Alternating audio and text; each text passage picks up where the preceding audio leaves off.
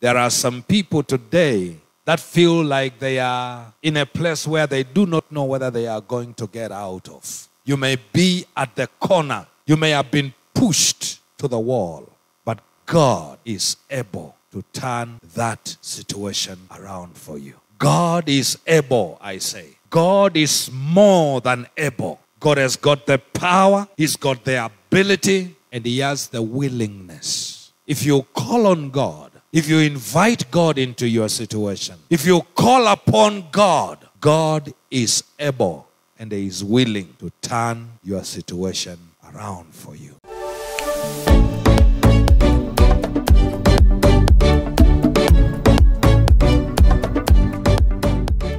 There's a lady here in uh, Luke's Gospel, chapter number 7. I want us to consider scripture beginning verse number 11 says and it came to pass the day after that is the day after jesus had healed the centurion's servant. On that day after that he went into a city called nain and many of his disciples went with him and much people. Now, when he came nigh to the gate of the city of Nain, behold, there was a dead man carried out, the only son of his mother, and she was a widow. And much people of the city were with her. Now, here is indeed a very sad situation of a widow whose only son had passed on.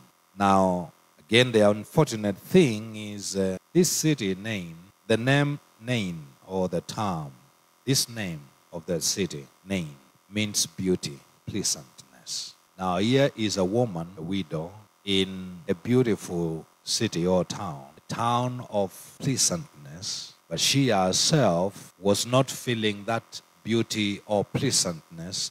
Things had gone south for her. Our only hope in life, and indeed in our old age, had been cut off she had now no one that she would or she could look upon to help her when she grows old when she gets old. Our only hope. And she has no husband. She's a widow. This boy and our relatives, our neighbors came to stand with her as they could, mourn with her, help her, bury her dead.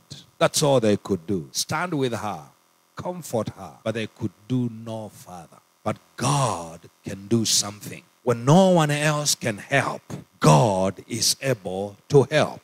The scripture tells us here in verse number 13 And when the Lord saw her, he had compassion on her and said to her, Weep not. What is compassion? Compassion is not pity. Compassion is to empathize. To have compassion is to be moved in such a way as to do something, to be moved to help. To have compassion is to have a motivating desire to correct the situation, to be in the feet or in the shoes of the person that is suffering. Jesus got into the shoes of this widow woman of Nain and was able to feel and to experience the pain that she was experiencing. And the pain troubled Jesus to a point where he said, I got to do something about it. He felt the pain of the suffering woman, and instead of just saying, Pole, instead of just saying sorry, instead of just saying, We are standing with you, he said, Whip not. Why whip not? Whip not because I'm going to do something about it. Whip not because I'm going to turn the situation around. I say, God has the ability to change situations. I say, God has the ability to turn things around when we invite Him to be part of the equation. Problems, when we add God to our situations, when we add God to our impossibilities that we face in life, God makes things possible. Because with Him, I say, with Him, all things possible. Oh, that we would learn compassion. Oh, that we would learn compassion. Oh, that we would learn to empathize. Not to sympathize, but to empathize. To get into the shoes of, to feel what the other person is feeling. Because that's exactly what God does. Scripture says, He is touched by the feeling of our infirmities. He is touched by the feeling of our weaknesses. He is touched by the feeling of our pain. Why do people commit suicide? People commit suicide because they cannot see themselves on the other side of the problem. They cannot see this current situation coming to an end. They cannot see light, as we say, at the end of the tunnel. Or the tunnel is too long to have any light on your side. That's why people commit suicide. But I want to say this you don't have to commit suicide because there is a God in heaven who is touched by the feeling of our infirmities. Hebrews what? 4:15.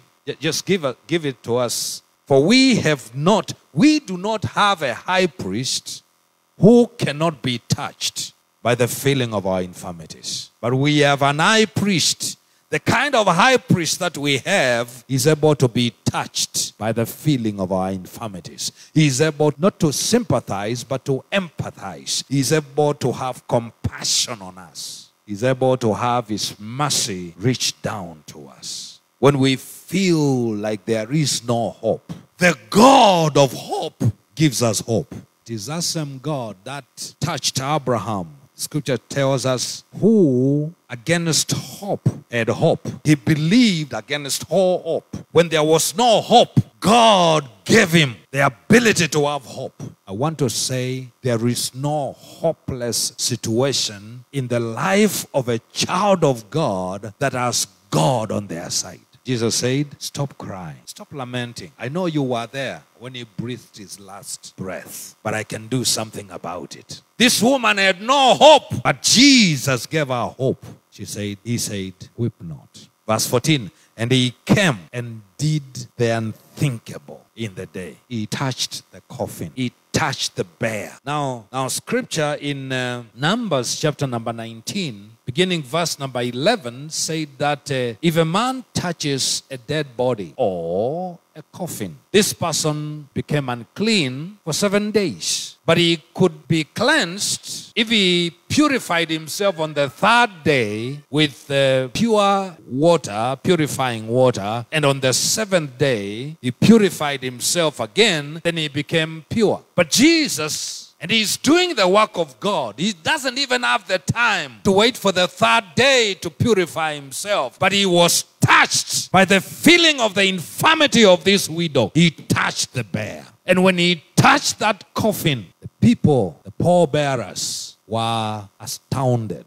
They stopped. What has the rabbi done? They stopped. They didn't just stop because he has touched, they touched because what has he done now? How can he make himself unclean? And right there, while they, at the moment when they stopped, Jesus said, Young man, hallelujah, I say unto thee, he spoke to a corpse. Jesus spoke to the dead boy. He said, Young man, I say unto you, arise. Hallelujah. What is that dead situation in your life? Jesus says, Arise he speaks life to dead situations. Jesus is able to breathe life to a dead business or a dying business. Jesus is able to speak life to a dead relationship or a dying marriage. Jesus is able to speak life to that situation that you are in. He's able to breathe life into it.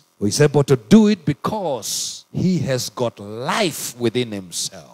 There is no situation God cannot turn around. Jesus touched the coffin. Verse 15 And he that was dead sat up and began to speak. And he delivered him to his mother. And there came a fear on all. And they glorified God, saying that a great prophet is risen up among us. And that God has visited his people. I want to say, God can visit you in your situation. It doesn't matter what you are going through. If only you can invite God into your situation, I say, God can turn things around. It's not over until you have invited God into it. When you invite God, things become new. When Jesus touched that coffin, this is the message he sent. There is no price I am not willing to pay to help you. I just want us to invite God into our situations today. Don't give up on your children. God can turn their hearts around. When doctors say, We are sorry, there is nothing more we can do, that's okay. Psalm 120 and scripture verse number one says, In my distress I cried unto the Lord. What happened? And he heard. In your distress, call on God. God will hear. When God hears, He's touched by the feeling of your infirmities. He turns situations around. Shall we pray? Blessed and everlasting Father, we thank you. We thank you, Lord, because Scripture tells us that you are touched by the feeling of our weaknesses. When we call upon you, Lord, you hear. And when you hear, you turn situations around. When we are deeply afraid, we don't know what to do, Lord, we call upon you to come and rescue us. Have compassion on us, Lord. Save us. Because it delights you, Lord, to deliver us on the account of Jesus. Be glorified, Lord. In Jesus' name we pray.